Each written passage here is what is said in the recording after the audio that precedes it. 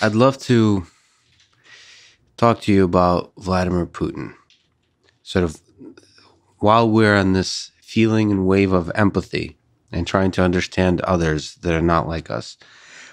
One of the reasons I started this podcast is because I believe that there's a few people I could talk to. Some of it is ego, some of it is stupidity. Is there some people I could talk to that not many others can talk to? The one person I was always thinking about was Vladimir Putin. Do you still speak the language? I speak the language very well. That makes it even easier. I mean, you might be you might be appointed for that job. That's the context in which I'm asking you this question. What are your thoughts about Vladimir Putin from historical context? Have you studied him? Have you thought about him? Yes, uh, stu- studied is a is a loaded word. Um, here's here's and again, I, I, find it hard sometimes to not filter things through an American lens. Right. So, as an American, I would say that the Russians should be allowed to have any leader that they want to have. But what an American would say is, but there should be elections, right? So, if the Russians choose Vladimir Putin and they keep choosing him, that's their business. Where, where as an American, I would have a problem is when that leader stops letting the Russians make that decision. And we would say, well, now you're no longer ruling by the consent of the governed. You've become the equivalent of a person who may be oppressing your people. You might as well be a dictator, right? Now, there's a difference between a freely elected and reelected and reelected and reelected dictator, mm-hmm. right? If that's what they want. And and look, I, I it would be silly to broad brush the Russians like it would be silly to broad brush anyone, right? Millions and millions of people with different opinions amongst them all but they seem to like a strong person at the helm. And listen, there's a giant chunk of Americans who do too um, in their own country. But an American would say, as long as the freedom of choice is is given to the Russians to decide this and not taken away from them, right? It's one thing to say he was freely elected, but a long time ago, and we've done away with elections since then is is a different story too. So my attitude on on Vladimir Putin is if that's who the Russian people want and you give them the choice, right? If he's only there because they keep electing him, that's a very different story. When when he stops offering them the option of choosing him or not choosing him, that's when it begins to look nefarious to someone born and raised with the mindset and the ideology that is an integral part of of yours truly and that I can't, you know, you, you can see gray areas and nuance all you like, but it's hard to escape as you wish and you you you alluded to this too. It's hard to escape what was indoctrinated into your bones in your formative years. Uh, it's like ex, you know, your bones are growing, right? Yeah. And, and you can't go back. I mean, so to me, this is so much a part of who I am that I have a hard time jettisoning that and saying, "Oh no, Vladimir Putin not being elected anymore is just fine." Uh, I'm too much of a product of my upbringing to go there. Does that make sense? Yeah, absolutely. But of course, there's like we were saying, there's gray areas, which is, I believe, I have to think through this, but I think there is a point at which uh, Adolf Hitler became the popular choice in Nazi Germany in the 30s. There's a in the, in the same way, from an American perspective, you can start to criticize some in a shallow way, some in a deep way. The way that Putin has, uh, has maintained power is by controlling the press, so limiting one other freedom that we Americans value, which is the the freedom of the press or freedom of speech.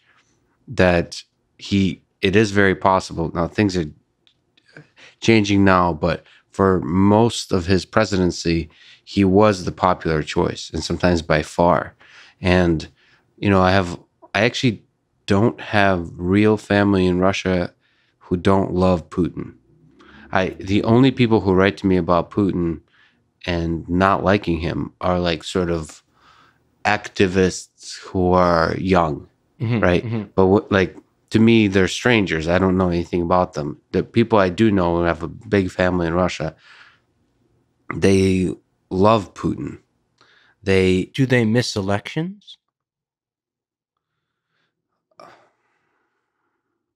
Would they want the choice to prove it at the ballot box, and and or or are they so in love with him that they they wouldn't want to take a chance that someone might vote him out?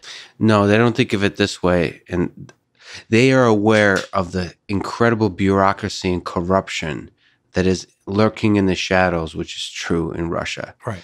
Everywhere. Everywhere. But like there's something about the Russian, it's the remnants.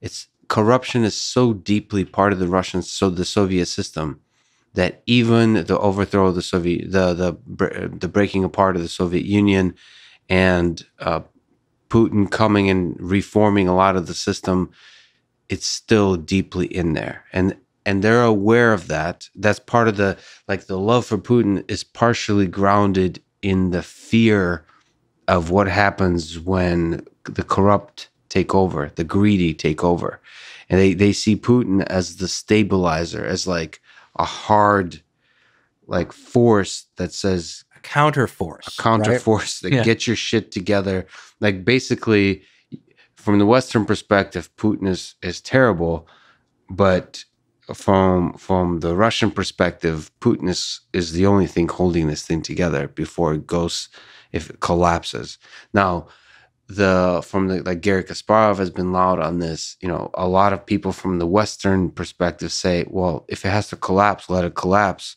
You know, that's, that's easier said than done when you don't have to live through that. Exactly. Yeah.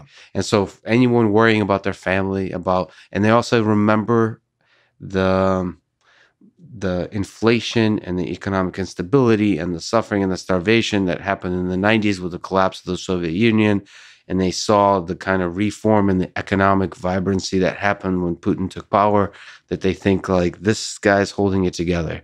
And they see elections as potentially being mechanisms by which the corrupt people can manipulate the system unfairly as opposed to letting the people speak with their voice they somehow figure out a way to uh, manipulate uh, the elections to elect somebody uh, like one of them Western revolutionaries.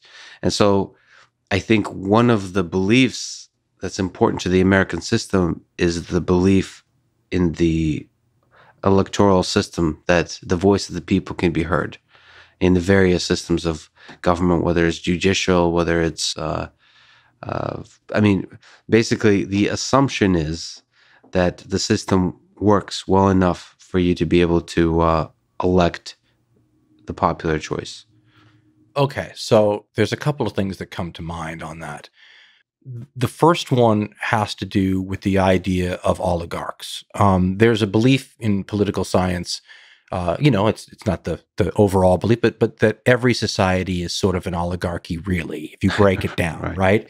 So what you're talking about are some of the people who would form uh, an oligarchic class in in in Russia, and that Putin is the guy who can harness uh, uh, the power of the state to keep those people in check.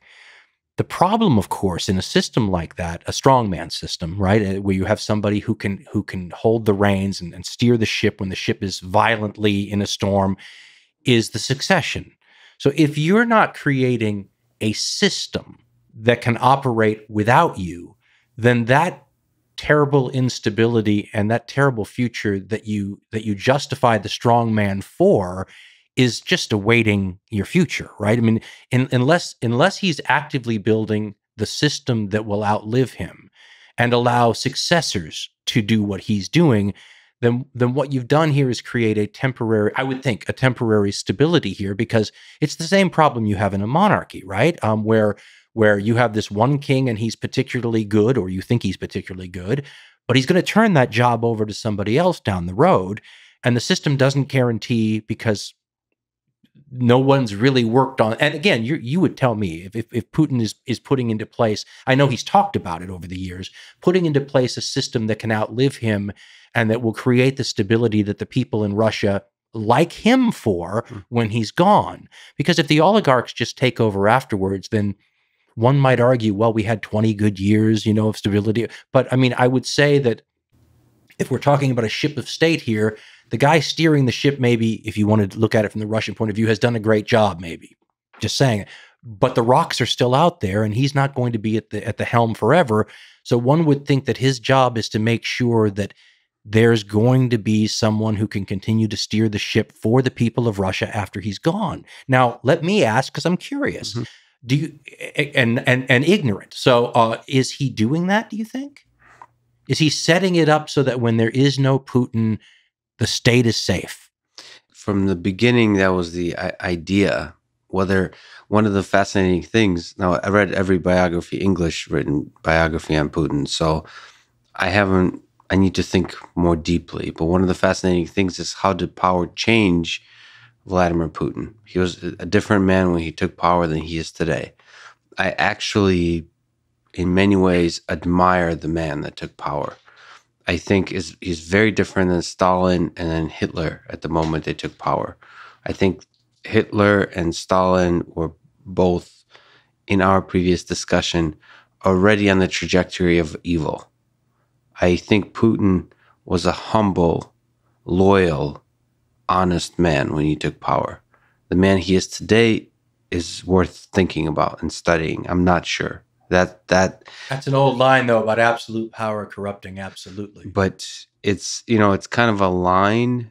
Uh, you know it's it's a beautiful quote, but you have to really think about it. You know, like what does that actually mean? Like one one of the things I I still have to do. You know, I've been focusing on securing the conversation, right? So I, I've been I haven't gone through the dark place yet because I feel like I can't do the dark thing for too long. So I really have to put myself in the mind uh, of Putin leading up to the conversation. But for now, my sense is his he took power when Yeltsin gave him one of the big sort of acts of the new Russia was for the first time in its history, a leader could have continued being in power and chose to give away power. That was the George Washington. Right. We in the United States would look at that as an absolute positive. Yeah. yeah. A sign, a sign of good things. Yes. yes. And so that was a huge act. And uh, Putin said that, that that was the defining thing that will define Russia for the 21st century, that act. And he will carry that flag forward. That's why in rhetoric, he, after two terms, he gave away power to Medvedev. And, yeah. But it was a puppet, right? Yeah. It, yes. But okay. it was but like the, still the story was being told. I think he believed it early on. I think he, I believe he still believes it, but I think he's deeply suspicious of the corruption that lurks in the shadows.